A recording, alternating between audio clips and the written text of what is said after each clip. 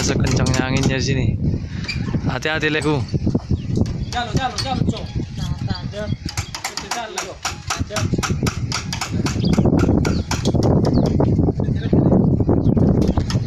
pelan-pelan aja